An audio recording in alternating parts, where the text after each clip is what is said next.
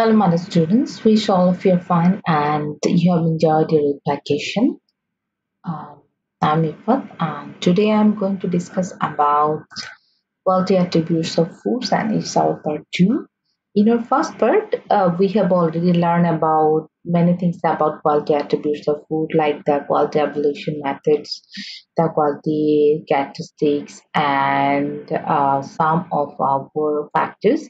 And in case of those factors, we also read in details of appearance factors. Okay, that how we can evaluate a food with the appearance factor like shape, the size, their gloss, and the form of damage. All of the things we have read in details. In our today's class, actually we'll read about the other factors like textual factors, flavor factor, nutritional factors. So first of all, whenever you learn about the textual factors, you have to know what is texture actually. Whenever you, I say about texture, it means the uh, perception that is the evolution of a food's physical characteristics and uh, that characteristics you can evaluate or you can feel with skin or muscle sense okay? That means whenever you touch okay? Whenever you will touch a food okay? With your hand or with your teeth then you can feel that food okay? And if uh, you can feel that food that means you can feel the texture of that food. So texture means the qualities of food that you can feel with fingers tongue palate or the teeth okay? And whenever we feel that with uh, the food with that organs then we can also measure the texture okay and so texture is the attributes of a substance that resulting from a combination of physical properties and which is perceived by the sense of touch sight and hearing. And in case of physical properties actually you know about that uh, that is size shape number nature. Okay? It is called the physical properties so uh, we can uh, if uh, we can say that uh, texture means the attributes of substance that resulting from combination of physical properties and which you can perceive by the sense of organ like finger tongue palate and teeth.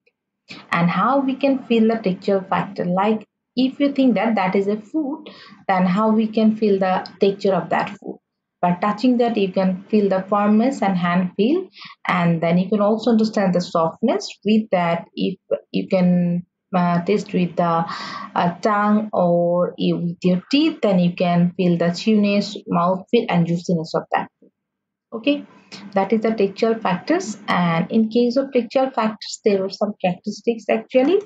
What are they? It is a group of physical properties that derive from the structure of the food. That means if it is apple it is firm like an apple or soft like a tomatoes. Okay? If it's soft like a tomato that is texture is not good. If it's firm like an apple that is the uh, texture of that uh, apple is good. That means you can understand that from the texture. And it is always a, a group of properties than the single one. Uh, uh, for example uh, just recently you saw the see the figure that it is the mouth feel chewiness juiciness softness it's a group of properties actually. And uh, we already know that texture is sensed by the feeling of touch usually in mouth but other parts of body may be involved like sense. And it is a texture and it's actually we uh, learn about the texture by measuring by hand mouth or our taste by the tongue but it's not actually any chemical sense of taste or odor okay it's the physical properties only so uh, if you think about that you want to measure the texture of a cake so how we can measure the texture you can measure the texture that is spongy or not. It's soft like a cake or it's hard like a biscuit. If it's soft, that texture is good. That is tender or not and it's mouthfeel or not. So by uh, understanding these four criteria, you can uh, measure the texture of a cake if texture is good or, uh, or not. Okay. So th that is our texture factor and how we can understand that. It is a texture analyzer. And uh, with that analyzer actually you can measure the texture of the food. Okay? There are lots of different varieties of analyzer. It is one kind of uh, it is one of them uh, you just keep the food there and whenever it touch the food it just give a reading there that its uh, texture is good or not or what is the actual texture of it is. Okay? And a video is given with that in VLC so you can check how it's work just check the video then uh, our second factor third factor is flavor factor. You already know what is flavor. That is it's different types of when your different types of chemical goes through our nose then we can just feel that or we can get different kinds of flavor. That is called flavor factors. And it is actually aroma that is taken by the nose. And if you say what is flavor so it is actually the sensory impression of a food or other substances that is determined mainly by the chemical sense of taste and smell. Actually the taste and smell both are related because you feel the taste of the food appropriately whenever the you smell of that food is good.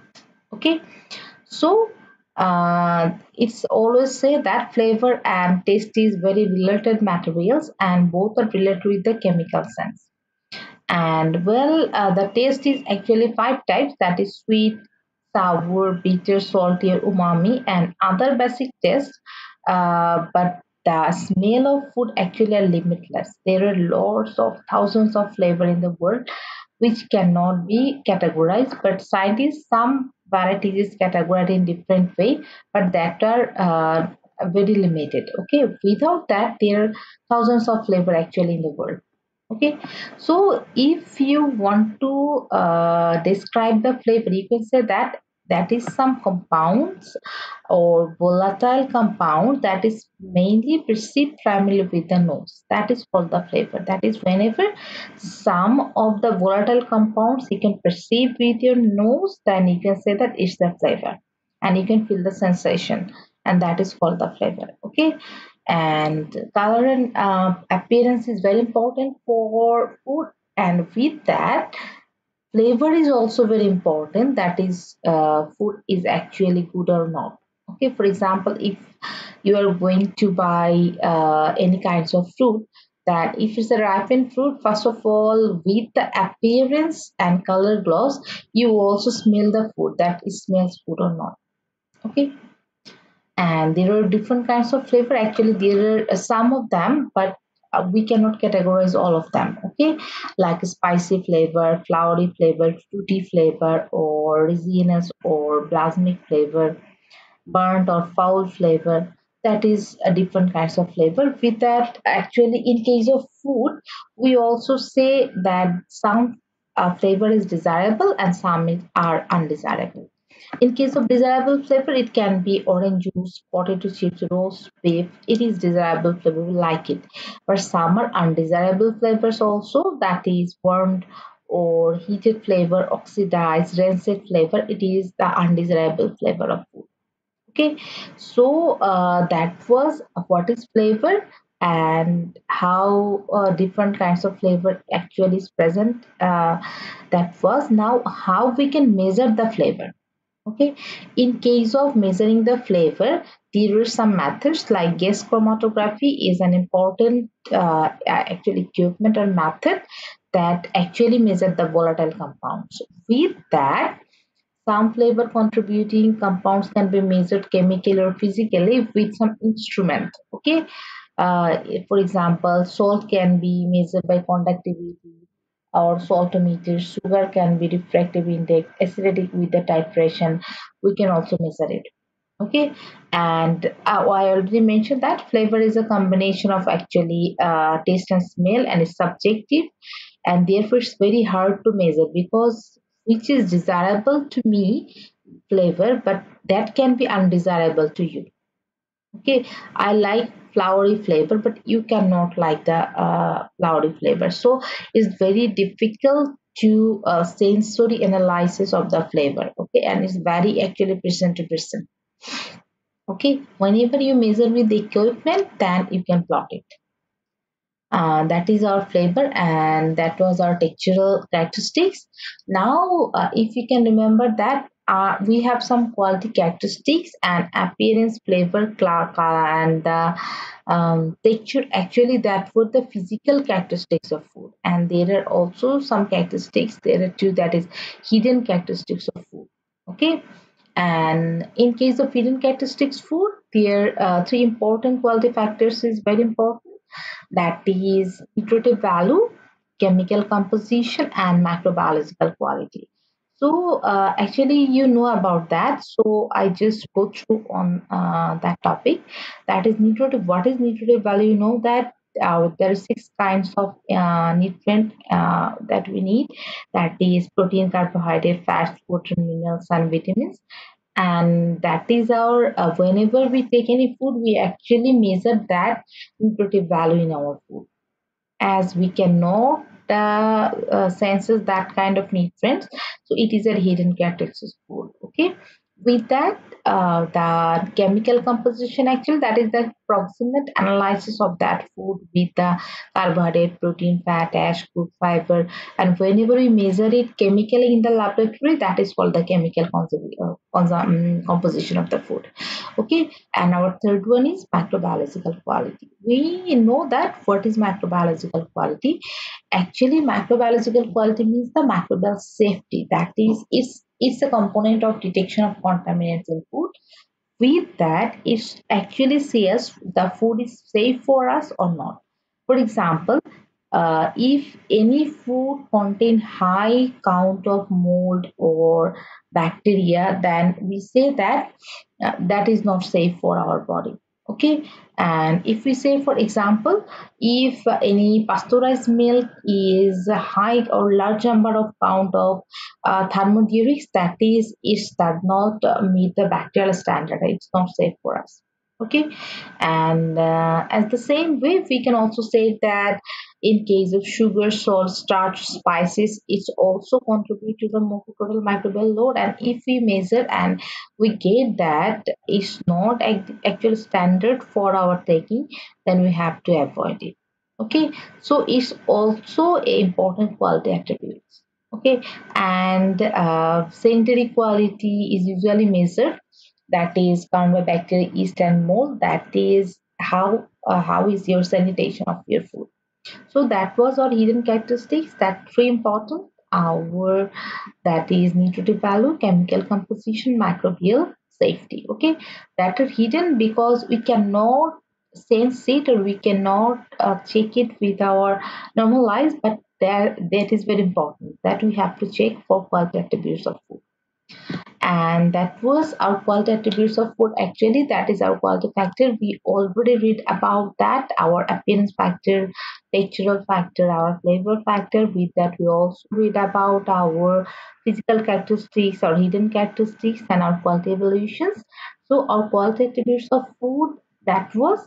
And with that that is some parameters that we have to maintain for maintaining quality in food industries what is that? Uh, first of all raw material. Raw material you have to maintain the specifications because for example uh, you need uh, for uh, making uh, buns or uh, different kinds of biscuit or you want to prepare bread. Okay in case of that you need a specific amount of gluten percentage. For example for bread percentage you need for making bread you need high gluten and for cakes you need low gluten. Okay so in case of that you have to maintain that.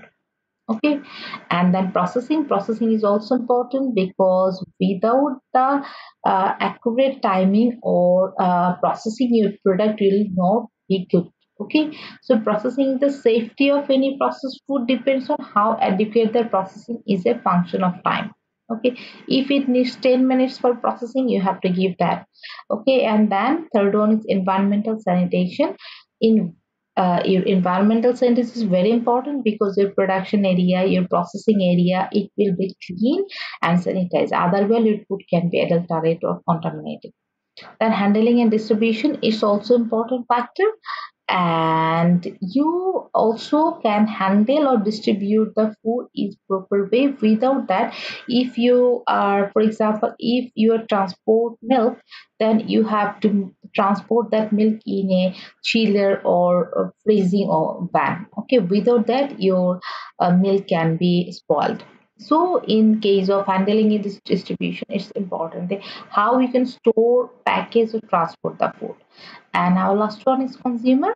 That is your consumer is very important. So whenever you prepare any food you have to keep in mind about your consumer. They as they can get the standard of food and the safe food.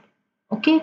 And uh, if we can uh, if we can maintain that parameters in different kinds of food industries with uh, actually the requirement then we can maintain the qualities of food in our food industries. Okay? So uh, that's all for today. And thank you. Now you will just keep your uh, notes that we are going to discuss in our tomorrow's class Allah Hafiz.